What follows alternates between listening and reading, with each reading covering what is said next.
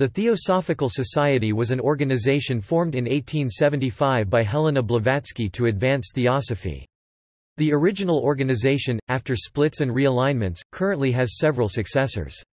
Following the death of Blavatsky, competition within the society between factions emerged, particularly among founding members and the organization split between the Theosophical Society Adyar and the Theosophical Society Pasadena Judge.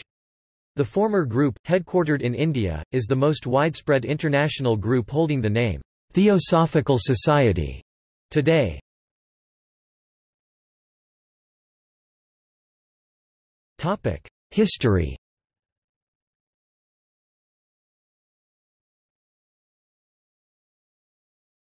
Topic: Formation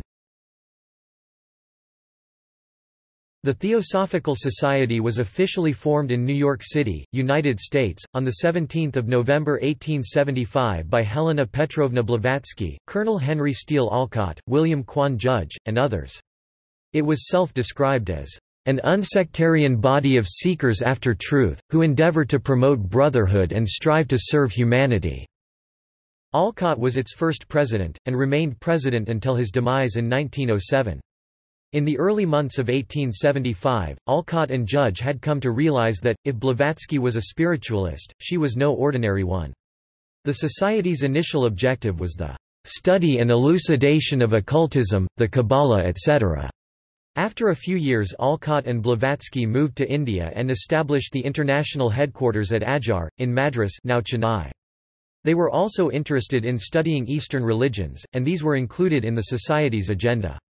After several iterations the Society's objectives evolved to be to form a nucleus of the universal brotherhood of humanity without distinction of race, creed, sex, caste, or color. To encourage the study of comparative religion, philosophy, and science.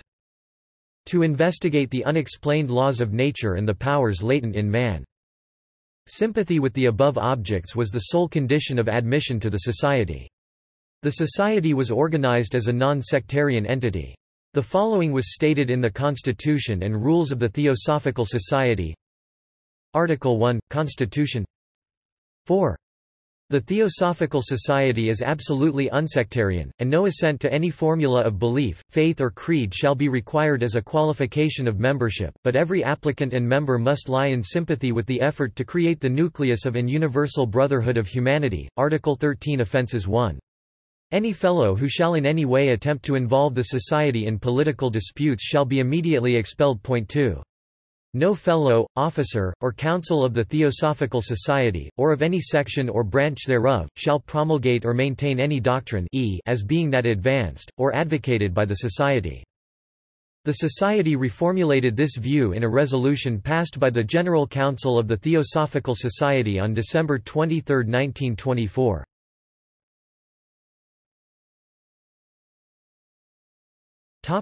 The Hidden Masters One of the central philosophical tenets promoted by the Society was the complex doctrine of the intelligent evolution of all existence, occurring on a cosmic scale, incorporating both the physical and non-physical aspects of the known and unknown universe, and affecting all of its constituent parts regardless of apparent size or importance. The theory was originally promulgated in The Secret Doctrine, the 1888 magnum opus of Helena Blavatsky. According to this view, humanity's evolution on Earth and beyond is part of the overall cosmic evolution. It is overseen by a hidden spiritual hierarchy, the so-called Masters of the Ancient Wisdom, whose upper echelons consist of advanced spiritual beings. Blavatsky portrayed the Theosophical Society as being part of one of many attempts throughout the millennia by this hidden hierarchy to guide humanity, in concert with the overall intelligent cosmic evolutionary scheme, towards its ultimate, immutable evolutionary objective, the attainment of perfection and the conscious, willing participation in the evolutionary process. These attempts require an earthly infrastructure such as the Theosophical Society which she held was ultimately under the inspiration of a number of Mahatmas, members of the hierarchy.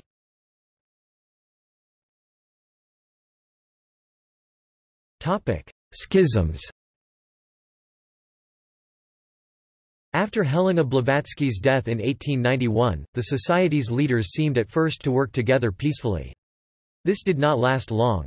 Judge was accused by Olcott and then prominent theosophist Annie Besant of forging letters from the Mahatmas. He ended his association with Olcott and Besant in 1895 and took most of the Society's American section with him.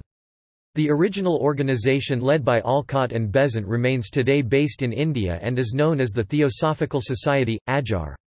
The group led by Judge further splintered into a faction led by Katherine Tingley, and another associated with Judge's secretary Ernest Temple Hargrove. While Hargrove's faction no longer survives, the faction led by Tingley is today known as the Theosophical Society with the clarifying statement, "'International Headquarters, Pasadena, California". A third organization, the United Lodge of Theosophists or ULT, in 1909 split off from the latter organization. In 1902, Rudolf Steiner became General Secretary of the German-Austrian division of the Theosophical Society. He maintained a Western-oriented course, relatively independent from the Adyar headquarters. After serious philosophical conflicts with Annie Besant and other members of the international leadership on the spiritual significance of Christ and on the status of the young boy Jiddu Krishnamurti see section below, most of the German and Austrian members split off in 1913 and formed the Anthroposophical Society. The latter remains active today and has branches in several countries, including the US and Canada. The English headquarters of the Theosophical Society are at 50 Gloucester Place, London. The Theosophical Society in Ireland 3, based in Pembroke Road, Dublin, is a wholly independent organisation which claims to have received its charter directly from Helena Blavatsky. The original group contained among others George William Russell AE, poet and mystic, and the leadership role later fell to Russell's friend P. G. Bowen, author and teacher of practical occultism and later still to Bowen's longtime student Dorothy Emerson. The current leadership of this group were students of Emerson.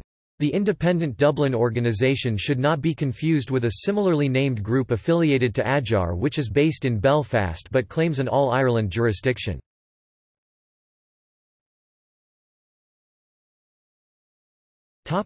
The «World Teacher» In addition to the stated objectives, as early as 1889 Blavatsky publicly declared that the purpose of establishing the society was to prepare humanity for the reception of a world teacher. According to the theosophical doctrine described above, a manifested aspect of an advanced spiritual entity the Maitreya that periodically appears on earth in order to direct the evolution of humankind. The mission of these reputedly regularly appearing emissaries is to practically translate, in a way and language understood by contemporary humanity, the knowledge required to propel it to a higher evolutionary stage. If the present attempt, in the form of our society, succeeds better than its predecessors have done, then it will be in existence as an organized, living and healthy body when the time comes for the effort of the 20th century. The general condition of men's minds and hearts will have been improved and purified by the spread of its teachings, and, as I have said, their prejudices and dogmatic illusions will have been, to some extent at least, removed. Not only so, but besides a large and accessible literature ready to men's hands, the next impulse will find a numerous and united body of people ready to welcome the new torch-bearer of truth. He will find the minds of men prepared for his message, a language ready for him in which to clothe the new truths he brings, an organization awaiting his arrival, which will remove the merely mechanical, material obstacles and difficulties from his path. Think how much one, to whom such an opportunity is given, could accomplish. Measure it by comparison with what the Theosophical Society actually has achieved in the last 14 years, without any of these advantages and surrounded by hosts of hindrances which would not hamper the new leader. This was repeated by then prominent theosophist Annie Besant in 1896, five years after Blavatsky's death. Besant, who became president of the society in 1907, thought the appearance of the world teacher would happen sooner than the time frame in Blavatsky's writings, who had indicated that it would not take place until the last quarter of the 20th century.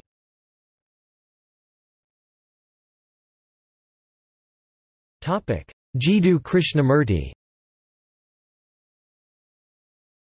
One of the people who expected the imminent reappearance of the Maitreya as world teacher was Charles Webster Leadbeater, then an influential theosophist and occultist.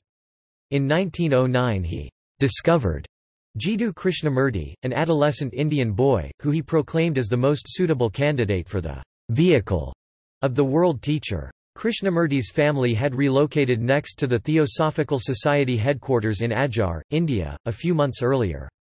Following his discovery, Krishnamurti was taken under the wing of the society, and was extensively groomed in preparation for his expected mission. However, by 1925 Krishnamurti had begun to move away from the course expected of him by the leaders of the Theosophical Society Adyar and by many theosophists. In 1929 he publicly dissolved the Order of the Star, a worldwide organization created by the leadership of the Theosophical Society to prepare the world for the coming of the Maitreya, and abandoned his assumed role as the vehicle for the world teacher. He eventually left the Theosophical Society altogether, yet remained on friendly terms with individual members of the society. He spent the rest of his life traveling the world as an independent speaker, becoming widely known as an original thinker on spiritual, philosophical, and psychological subjects.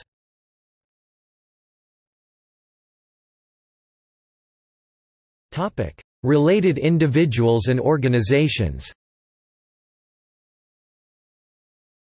The following have been at many times associated, or have claimed association, with the original Theosophical Society, its philosophy, leaders, branches, or descendant organizations. Listed alphabetically.